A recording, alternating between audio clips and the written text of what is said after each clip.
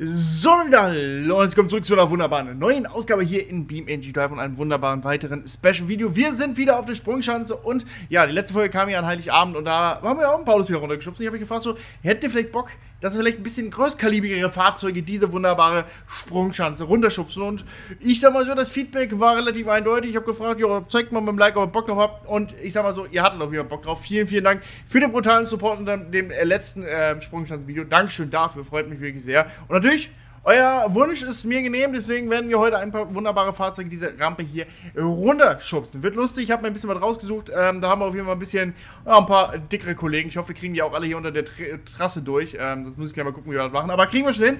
Und ähm, ja, wir fangen mit diesem wunderbaren Kfz an. Lasst euch jetzt nicht von den Texturen verwirren. Irgendwie lädt er die bei dem Fahrzeug alle nicht rein. Ähm, aber ein wunderbares äh, Wohnmobil basierend auf dem Gavril H-Series.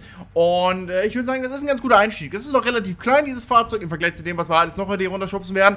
Und äh, ich würde sagen, wir legen einfach mal los, schauen mal, was so geht. Und äh, ja, gucken mal. Natürlich, schwungtechnisch müssen wir sehr darauf hoffen, dass die G-Kräfte uns helfen. Die meisten Fahrzeuge natürlich überhaupt keinen Topspeed haben, weil es immerhin LKWs und Busse sind und die nicht dafür gelassen sind, mit 300 über die Bahn geflogen zu werden. Aber wir gucken mal. Oh Gott, hier 200. Das Wohnmobil ist ganz schön schnell. 216 geht es hier über die Rampe. Und, oh, guck mal, was eine schöne Flug... Oh, was eine schöne Flugbahn. Guck, Nebenbei, natürlich weiß ich letztes Mal, die Pessimas sind so scheiße gewesen, weil sie viele Aerodynamik haben. Aerodynamik ist so Anpressdruck da. Die sollen ja genau das nicht machen, was wir hier machen. Ich weiß. Danke nochmal für die Aufklärung. War natürlich Quatsch, dass ich dann gesagt habe, Flügel weg, die müssen weit fliegen. Natürlich fliegen sie dann teilweise eben nicht weit. Ähm, aber ich möchte trotzdem sagen, dass die Pessimas jetzt gerade von dem Wohnmobil geschlagen werden. Just for your facts, ne? Nur damit ihr Bescheid wisst. Weil wir fliegen hier nämlich entspannte. Ich denke, aber gucken, da sind die 250. Entspannte 240 werden wir jetzt hier schaffen. Und da sprengen wir uns mal ein bisschen die Aufhängung weg. Aber 240 in Wohnmobil. Ja, wäre jetzt auch nicht gedacht. Aber das ist schon mal ein guter Einstieg für die Folge. Und natürlich lassen wir auch schön weiterfliegen. Und einmal schön in den Pool gedoppt, das Ding. Wunderhübsch. Sehr gut. Irgendwie läuft der Motor noch. Ich weiß noch nicht, wo der Motor... Der ist doch komplett woanders. Der Motor ist doch gar nicht mehr existent. Hier, läuft da hinten irgendwo. Irgendwo hinten im Kofferraum da rennt unser Motor. Oder nee, hängt irgendwo unter... Ah, nee, da hängt er. Naja, auf jeden Fall, äh, ja, 240. Nicht verkehrt, würde ich sagen. Äh, erster Proband. Sehr erfolgreich gewesen fahren wir weiter fort, nämlich mit dem Captain Gavril Cheese Series hier in der wunderbaren Betonmischer Edition. Nebenbei, kurzer Hinweis auch, falls euch jetzt wundert, wenn wir runterspringen, dass da keine Wracks stehen. Ähm, leider werde ich bei der heutigen Ausgabe darauf verzichten müssen, die Autos da alle unten las zu lassen, wie ich sonst immer mache, ähm, weil die meisten Fahrzeuge, die wir heute testen, sehr groß sind und viele abfallende Teile haben und das der Performance hier überhaupt nicht hilft. Und äh, dementsprechend werde ich immer, na, kurz nach dem Unfall schnell aufräumen, ne, die äh, ne, Sachen beseitigen und dann schmeißen wir nächste Runde. Und ja, wie gesagt, nächste Woche schmeißen ist der wunderbare Betonmischer, liebe Leute. Und ich würde sagen, wir lassen fliegen, mal ein bisschen Schwung aufbauen. Wenn wir uns auch bis, ich glaube, bis wir unten sind, ist der Motor kaputt, weil meistens Topspeed-technisch rennen wir hier schnell in die Grenze mit den Dingern. Aber wir sind schon im 12. Gang und jetzt wird durchgeladen hier. Oh, da wird der Motor gleich fliegen bei 2. Junge, ist eine Geräuschkulisse, als würdest du gerade eine scheiß Atombombe starten wollen. Bei 215 Sachen in Betonmuschel hier am runterschubsen. Das muss man den LKWs lassen. Die liegen sehr schön in der Luft.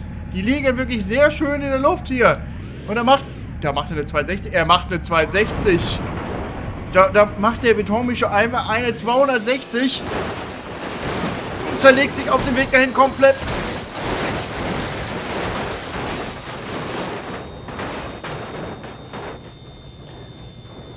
Sollte beim nächsten Mal mein Headset leiser stellen. Das war ganz schön laut. Aber what the fuck? Das war nicht verkehrt. Und ehrlich gesagt haben wir unseren Betonmischer ja auch über die ganze Map jetzt verteilt. Das hat doch auch was. Bei so viel Feuer hilft natürlich dann nur noch die Feuerwehr, nämlich hier mit dem äh, 6000er ETK-Mod, ähm, ja, in der Feuerwehr-Edition. Also haben ein bisschen wunderbar Gewicht dabei, wunderbar hier Löschmittel, allen dies, das. Ne, da unten, ich sag mal so, unser wunderbarer Betonmischer hat sich ein bisschen aufgelöst und da müssen wir natürlich jetzt so ein bisschen nachaufräumen. Deswegen würde ich sagen, Feuerwehr, gib ihm. Nachteil ist natürlich, alle haben Dieselmotoren. Die sind jetzt eben nicht dafür bekannt, 300 auf Autobahn fahren zu können. Ähm, deswegen haben wir leider das Problem, dass die meisten Motoren bis unten ankommen, schon komplett am Limit rennen. Ich meine, der Betonmischer lief gerade bei über 200 Sachen.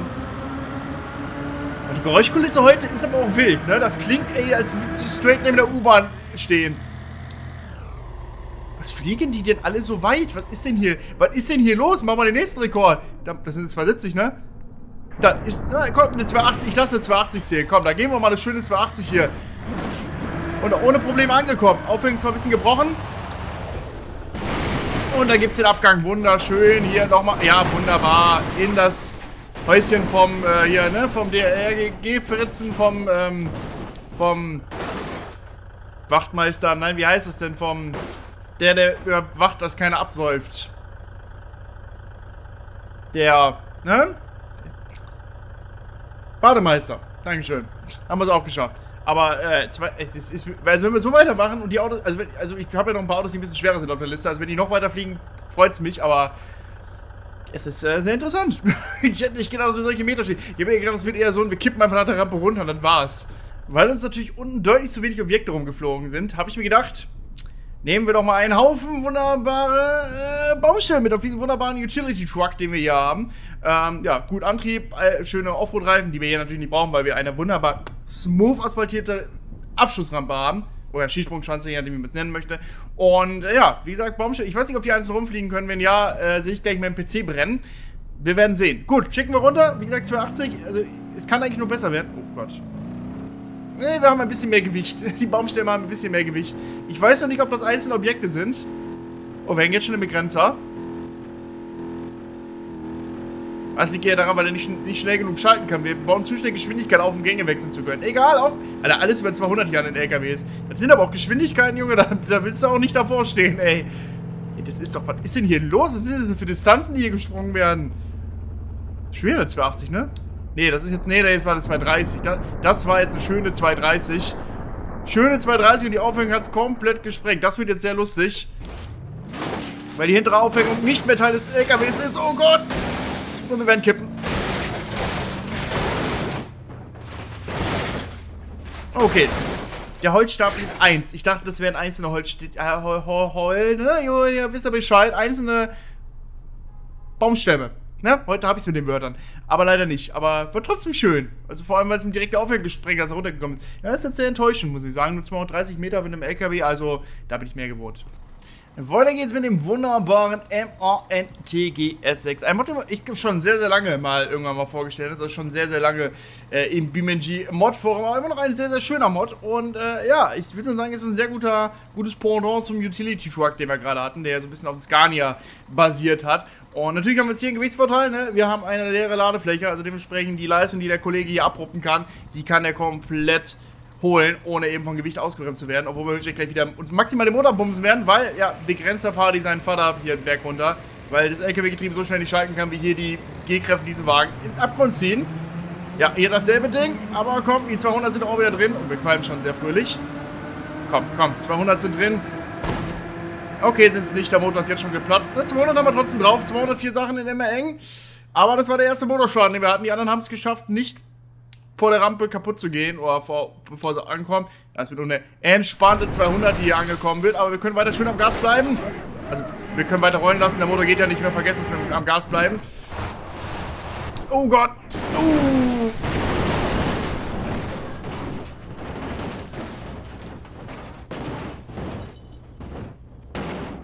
Quadratisch praktisch gut, sagt man doch, ne? Ja, das, das war doch, glaub ich. glaube, quadratisch praktisch gut war der Satz. Alter. Hoppla. Ja, das Becken, ich glaube, das, das Becken bräuchte ein bisschen mehr Auslauf oder vielleicht ein bisschen weniger diese spitz zusammenlaufende. Das wäre. Ich bin kein Crash-Experte, aber ich glaube, es könnte helfen. Auch die kleinen Teamies wollen natürlich auch mal diese Skisprungschanze erleben. Ne? Kann man den Teamies nicht, nicht, nicht verübeln, muss man sagen. Das ist hier schon ein Erlebnis. Und natürlich deswegen haben wir uns einen schönen Bus geholt. Natürlich, äh, ihr wisst schon, da gibt es eine Special-Version noch. Äh, die, das Finale dieser Folge wird äh, wild, würde ich behaupten. Ähm, dementsprechend. Aber wir wollen erstmal mit den normalen Fahrzeugen loslegen oder äh, weitermachen. Ähm, deswegen, ich würde sagen, die kleinen Teamies sind alle nicht, nicht angeschnallt, weil ich glaube, dem Bus gibt. Weiß nicht, haben wir Anschnallgurte? Ich, wir können mal kurz gucken, ob die Teamies Anschnallgurte haben. Nein, die fliegen rein los durch die Kiste. Egal. Gut, wollen wir loslegen? Ich habe sie gewarnt. Ähm, wird ein wilder Ritt. Ich mag die Geräuschkulisse heute. Alles klingt einfach alles so wild. Oh, der Motor platzt gleich. Oh Gott. Oh, das wird laut. Oh. Alter. 200 Sachen im Bus, Junge. Oh, was eine Flugbahn. Wo zähle ich ihn jetzt, wo er jetzt einschlägt? Was sind 190? Naja, 190. Okay, Bus kriegt 190. Was ist denn mit der Geräuschkulisse los? Oh Gott!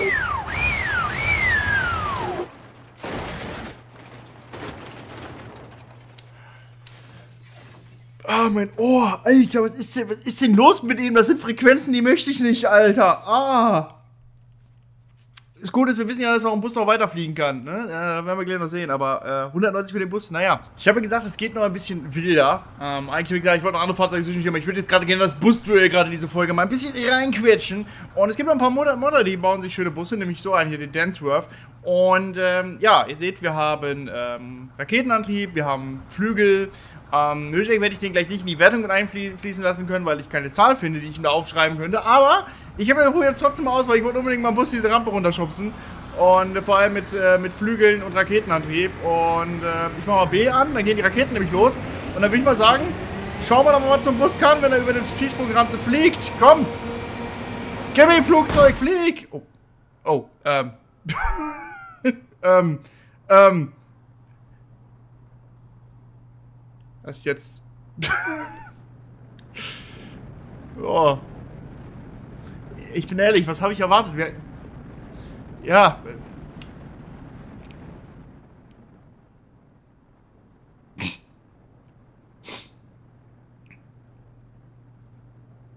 Ist komisch aber auch, dass ein Bus mit Flügeln und einem Raketenantrieb ausgestattet von der Skisprungranze fliegen kann. Wir kommen, kommen wir auch irgendwann wieder runter? Also nebenbei da hinten ist die Map, falls es interessiert. Wir sind ein bisschen out of bounds. Hier und da so ganz kleines bisschen. Was passiert, wenn ich die Raketenantriebe anmache? Oh, oh Gott. Dann zerfetzt die Karre einfach nur. Gibt's auch irgendwo, schlagen wir auch irgendwo wieder auf oder ist das jetzt einfach der Void, in dem wir einfach unendlich weit fliegen? Ja, Raketenantrieb geht sogar nochmal. Können wir ein bisschen tiefer fliegen? Ja. Ich wollte gerade sagen, da kommt kein Untergrund mehr, aber ich nehme es zurück. Alter, hab ich mich verschrocken. Oh, Junge, was soll das denn? Mach das nicht mit mir, ich bin doch alt. Gehen wir zum nächsten Fahrzeug, da brauche ich nichts aufschreiben. Kommen wir natürlich jetzt zum einzig wahren Hiu Bass. Ne? Vorteil von dem Kollegen hat keinen Flügel, der haut uns jetzt nicht ab, das ist das Gute. Ähm, ich hoffe, der Kollege bleibt jetzt hier. Also, ich habe Ausschiss, dass er uns zu weit fliegt, aber ich hoffe zumindest, dass er irgendwo einschlägt, das wäre ganz cool. Ähm, nämlich mal Hiu Bass vom Spiel selber. Ja, schönes Cape dran, Raketenantrieb in Farben der Demokratie gestrichen. Das ist schön. Und ich würde sagen, wir lassen einfach mal losfliegen. Ich, äh, Raketenantrieb schmeiße ich gleich an. Ich will erst mal kurz die Rampe geschafft haben, also diese Kuppe hier, weil sonst fliegen wir schon vorher ab. Und dann würde ich mal sagen, lasst den Spaß beginnen. See ya! Über 300 Sachen werden hier eingenommen und... Oh Gott, und dann machen wir einen schönen Frontflip. Das war jetzt hier genau. Da kannst du sagen, was du willst. Das war unfassbar zielgenau ins Becken getroffen. Also ins, Wasch, ins, ins Waschbecken, vor allem ins Poolbecken, wenn ihr wisst, was ich meine. Das lief gut. Also, ja, da ihr im bestimmten Moment, wo der Motor geplatzt da hat man dann diesen leichten Loop, ne? Da, da hat er dann nicht mehr seine Flugbahn so konstant halten können. da, da, haben wir so eine leichte Unterbrechung dann in der Aerodynamik gehabt, aber bis dahin. Er hat auf jeden Fall die weiteste Sprungzeit. Ich schreibe die jetzt mal nicht auf, weil das kann man sich schenken, weil wir sind halt im Pool gelandet, aber ich wollte es mal ausprobiert haben. Ja, kommen wir zu einem kleinen Performance-Monster. Also nicht im Sinne von dieser LKW ist ein Performance-Monster, sondern dieser PC, äh, dieser, dieser, dieser LKW wird meinen PC abverlangen. Nämlich äh, den Crash Hard 8x8. Wir hatten ja schon den Crash Hard Classic damals und der hat auch schon damit getrumpft, dass er sehr, sehr viele abfliegende Teile und deformierbare Teile hat. Und das ist natürlich ja beim 8x8 Truck nicht anders. Äh, wirklich jedes verfickte Teil in diesem Fahrzeug hat eine J-Beam-Struktur. Halt dementsprechend alles kann mit allem kollisieren. Und wenn dieser Wagen sich einmal auseinanderlöst, haben wir da unten ein Gemetzel von meiner Framerate. Das wird nicht mehr schön werden. Ähm, aber ich wollte ihn mal ausprobieren. Er sieht cool aus. Es sieht wirklich alles sehr viel nach Teilen aus, die abfliegen können. Und ja, Vielleicht kann ich die Distanz gar nicht lesen, weil unten einfach explodiert. Äh, die Framerate ist jetzt schon ein bisschen im Keller, aber das wird gleich sicher besser werden, wenn da unten alles auseinanderfliegt. Schauen wir mal.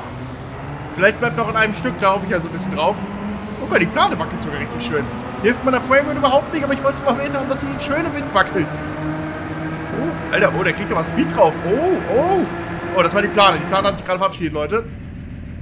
Bei 240 Sachen fliegt die Plane ab. Auch interessant. 270. Oh, das könnte ein neuer Distanzrekord hier werden. Also für normale Fahrzeuge, nicht für Busse mit Raketenantrieb. Oh, nee, 92, doch 92 werden wir schaffen. 92, haben wir 92 schon? Hatten wir nicht. Ja, neuen Distanzrekord hier mit den LKWs. Oh Gott. Da fliegt gerade ganz schön viel ab. Oh, meine Aufhängung ist gebrochen. Oh Gott. Oh. Alter, hier fliegen ganz schön viele Teile. Ach du Scheiße, fliegt hier viel rum. Ja nur so ein Gerippe, wie so ein Tausendfüßler vom LKW noch übrig geblieben. Der Rest hat sich komplett verteilt. Also im Klammern, er liegt da vorne, wenn ich euch das mal kurz demonstrieren kann. Warte mal. Der, ja, davon, da vorne liegt das Führerhaus. Glaube ich, ist es das? Ja, doch. Hoppla, ist nicht mehr viel von übrig. Das hat sich komplett in die Laterne gewickelt. Da brennt der Tank. Hier liegt noch ein Reifen. Hier liegt der Aufbau. Da hinten liegen auch noch brennende Sachen. Also der hat sich, der hat sich auf jeden Fall schön quer einmal über die Map verteilt. Das ist doch, das ist doch, das ist doch schön. Das ist doch schön, ist. Wunderbar. Bevor wir gleich zum Abschluss der Fahrzeuge kommen, ich habe noch zwei, die ich auf jeden Fall vorzeigen möchte. Ich habe will ja gleich noch ein paar schöne Sattel, Sattelzüge hier, runter, hier runterhämmern. Schöne LKW mit dem, im Auflieger hinten drauf, also keine Sorge, das kommt gleich auch noch. Ähm, ja, schicken wir einen Panzer runter, ne? Vamos! Da brauchen wir nicht wieder reden, das ist ein Panzer. Ich habe auch nicht die Wahrscheinlichkeit, dass da viel kaputt geht. Ich habe auch nicht die Hoffnung, dass wir viel Tempo aufbauen werden. Oh Gott, wir bauen überhaupt gar kein Tempo auf. Oh, das ist das Traurigste, was ich jemals hier runtergeschubst habe.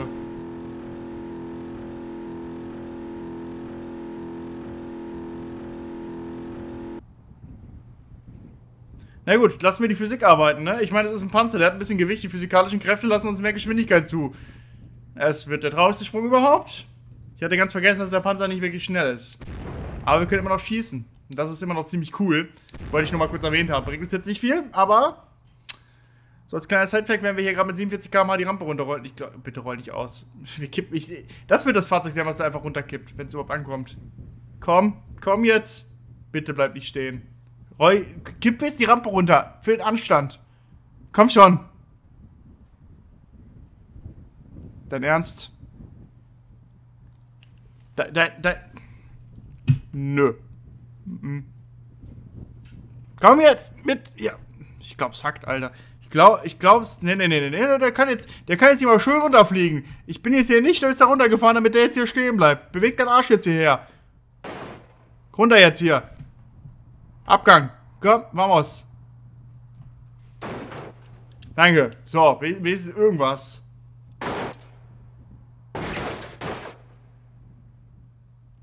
Machen wir weiter. Man über dicke Dinger redet, darf natürlich auch ein Monster Truck nicht fehlen. Leider finde ich die CRGZ, ähm, oder die, die, grundsätzlich die Monster Trucks nicht mehr. Ähm, beziehungsweise sind die immer outdated meistens und werden nicht mehr wieder regelmäßig geupdatet. Aber CRGZ hat ja beim Supra-Mod ähm, auf Basis von dem Monster Truck eben die Supra umgemodelt. Und, ähm, oder Pirashi Prasu, bla bla bla, ihr wisst, wie ich es meine. Und deswegen haben wir trotzdem die Möglichkeit, Monster Truck zu stehen. Das ist natürlich Schauspiel jetzt nicht super cool, aber ich wollte mal gucken, wie weit Monster Truck fliegt. Ähm, weil das, ich weiß nicht, hat sich da jemand schon mal Gedanken gemacht, was Monster Truck auf Skisprungtanzen so aushalten? Wir gucken mal. Wir vielleicht hier einen neuen Rekord schaffen. Wieder 290 momentan vom Crash Hard. Hier das, ah, ich habe ich nehme nur Autos, die keinen Topspeed haben. Es ist, die, es ist heute die Folge der nicht Topspeed-fähigen Fahrzeuge. Die LKWs sind ja schneller runter. Das wird traurig. Naja. Oh ja, das wird echt traurig. Oh Gott, das, das ist nicht mal mehr traurig. Das ist einfach nur... Das ist einfach nicht okay. Das, das ist nicht traurig. Das ist einfach nicht okay.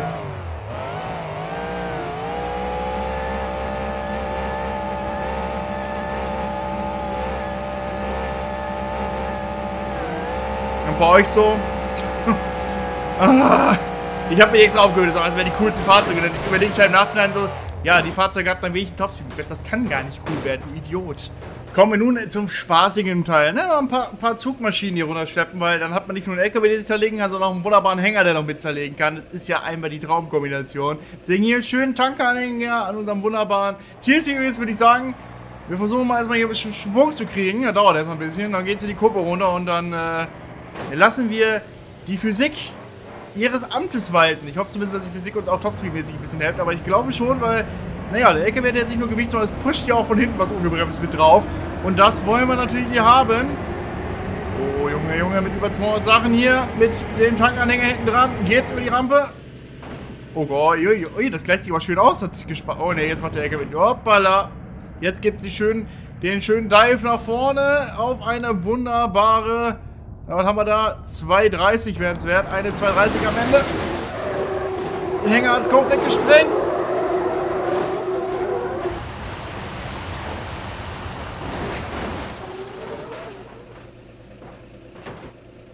Ja, lief doch wunderbar, liebe Leute, würde ich sagen. Ne? Wunderbärchen war das.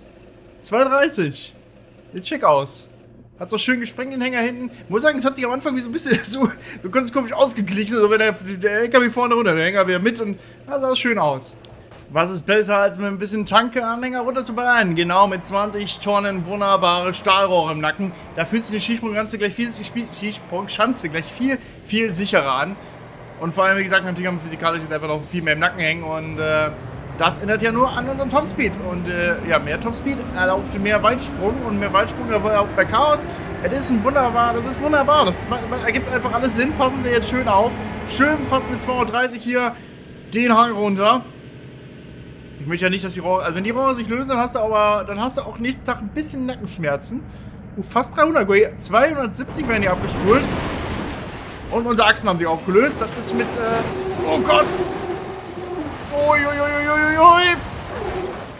Alter. Junge, der Hänger hat ja gerade mit uns Flickflack gespielt. Als die Rohre sich gelöst haben, war die Zugmaschine nur noch Spielzeug. Ey, da ist jetzt, jetzt so hier auf den Beckenrand gehämmert. Alter Verwalter. Ja, ist auch nicht mal so viel übrig. Das Problem ging da, als da los, als unsere, hier unsere eine Achse und hinten sich die Achsen verabschieden, weil guck mal vom Hänger, wie krumm die Achsen sind. Das gab den Aufschlag, wunderbaren Sturz. Feiere ich normal, mit so viel Stahlraum hinten drauf ist Sturz eben nicht so zuträglich. Ich weiß, ich bin ein bisschen spät dran, die Weihnachtszeit war vor einer Woche, aber äh, ja, es, ich musste trotzdem sein, diesen wunderbar beleuchteten Tasty Cola Weihnachtstruck hier runterzuschubsen. Das musste jetzt einfach sein. Das ist, das ist einfach eine Pflichtveranstaltung. Also, wenn man hier alles runterschubst, darf man auch den, den, den Truck vom Weihnachtsmann hier runterschubsen, den, wo ich gerade schon ein bisschen die Kontrolle hier runter verliere. Oh Gott. Ich hab's doch im Griff, ich hab's doch im Griff. Alles gut. Oh, okay, wir fahren Schlangenlinien, vergesst es. Oh, schön, ja. Ja, da hängt immer ein bisschen durch in der Mitte. Das ist nicht immer so ganz so praktisch. Oh Gott, und der Hänger fängt jetzt vor allem an, nach einer Spur zu fliegen. Als, als ah! Okay, der hat mir gerade meine Hinterachse... Oh, okay. Ja. Oh, jetzt werden wir von unserem eigenen Hänger verfolgt, der sich meinte abzukoppeln. Oh, oh da ist ganz schön viel Tasty Cola drin. Hab's überlebt. Oh Gott, nein, hab ich nicht. Au. Schön auf die A-Seite noch den Hänger bekommen.